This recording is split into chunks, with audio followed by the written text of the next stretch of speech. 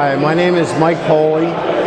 My son Mike was killed at Virginia Tech on April 16th 2007. My family and I fully support the Fix the Background Check legislation.